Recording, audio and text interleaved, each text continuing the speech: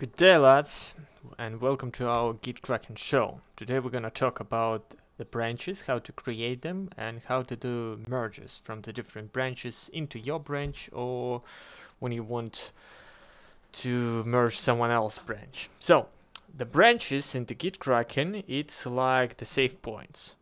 Uh, by default, usually we have the master branch in any repository. This is usually the branch where we keep the latest productive and um, workable changes. It doesn't supposed to work like this, but uh, usually people try to follow this rule. So uh, let's say we have our branch, master branch. This is master. And uh, we somewhere up there on this latest commit. We would like to make some changes, some fixes, uh, and we are talking about situation when we are not working alone in this repo, we are working with someone else.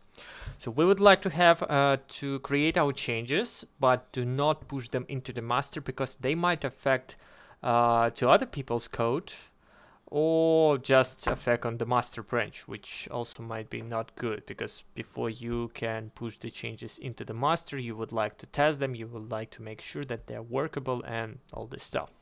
So to do so, you can create like the different branch, call it whatever you want, and you start up there. And in the same time, other guy or someone else can create the new commit to the master. Meanwhile, you create your own commits in your own branch. Uh, let's say my branch. This will be the name. And you keep in commit the changes uh, into this branch. Unless you 100% sure that you are ready to share these changes and merge them into the master.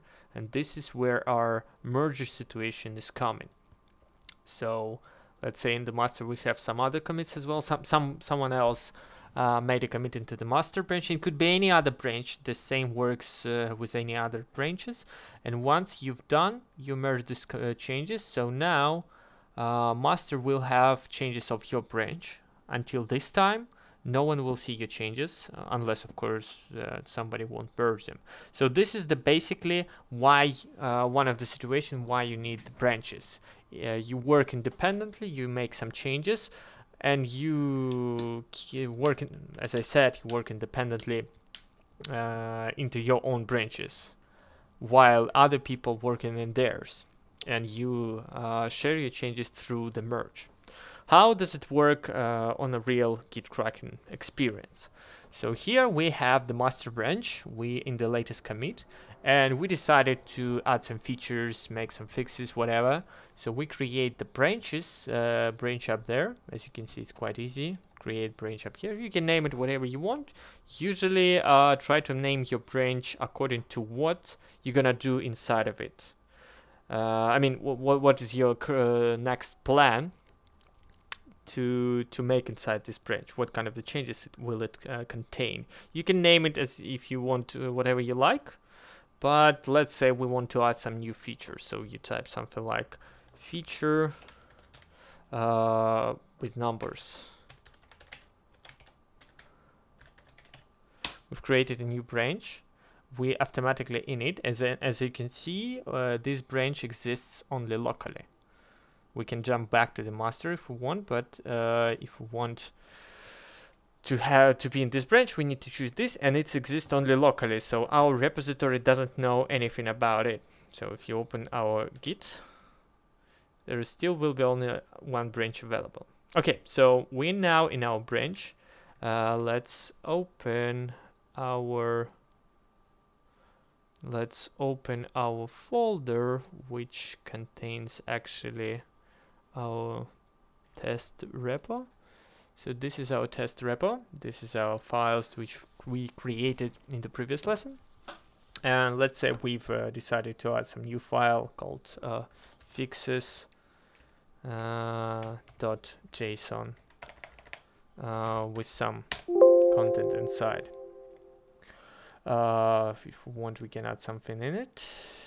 Oh, no, let's actually, yeah, let's uh, let's add some, let's add something inside of it. Uh, just an empty object for now. Keep it saved. As you can see, we haven't committed changes in our branch, so we can commit them. Uh, first, add the commit message. Message in new branch. Uh, I've committed it now, as you can see. And let's say that uh, meanwhile we were doing our changes, someone else was doing his changes in the master branch. Moreover, we can jump back to the master and if we open our file, we won't have uh, this fix.json file just because uh, master didn't contain it.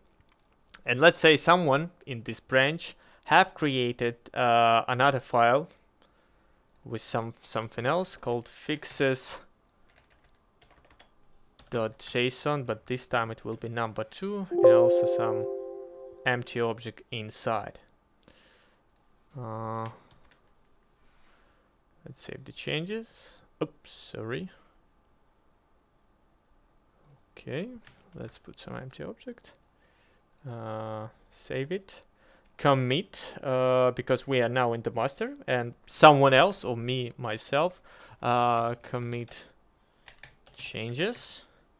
Stage the file. As you can see, it's also on local right now. I will push it while I'm in the master branch, so the master will have it. And now we have another commit into our uh, into our uh, master branch. Let's go back, jump in our branch, and uh, let's push it. Let's push it to the server. As you can see, I've pushed the changes of the features with numbers branch into the Git. So now if we open the Git, the Git will know about the new branch. We can see this. This is our file fixes.json. Okay, so now we've committed some changes and we would like, uh, for example, to have them into the master. I mean, we finished the fixes inside these branches. If we want, we can, let's, uh, for example, add another commit. Add another commit uh, inside this branch, which will contain something else. Uh, let's say it will contain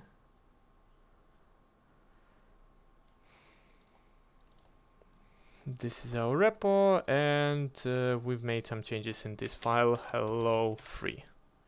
We make some changes as well. The new commit inside our new branch stage file uh, commit message push it and now we would like to receive these changes either from the branch either from the master uh, either we, let's say we want to receive the changes from the master. So to do so, we need to do the merge. You can see merge master into the future with numbers. As you can see, it was successfully merged. So now we can have files of our own fixes and the change test uh, test to hello file test file 2 sorry and the fixes2.json which was created into the master branch by someone else. Actually it was created by by us but as an example i just wanted to show you that this is how you can get the changes from the master. Uh, let's say that we decided staying in this branch to create a new file. We've created a new file new file.txt we don't have this file? Okay. One two three up there just some fast changes. Uh, commit the changes. Uh, blah blah. Let's don't forget to push it. If you want it if you want to repo to know your changes if you don't push it they will be locally. That makes sense sometimes when for example you're working and you don't would like to share your changes unless you're 100% sure that they verified and everything is working. Uh, otherwise, uh, the good idea to push it so you can download them from any other place of the world or any other people can have them. You can push it. And now let's say we decided that this latest commit is fine. We uh, want to share the changes or some, some of our other collaborator would like to receive our changes from this branch. So this guy who is now in the master just needs uh, when he's uh, when he jump onto the master, the latest master changes, he needs to merge it. Uh, as you can see, feature with number into the master. And in this case, he also don't forget to push after the merge.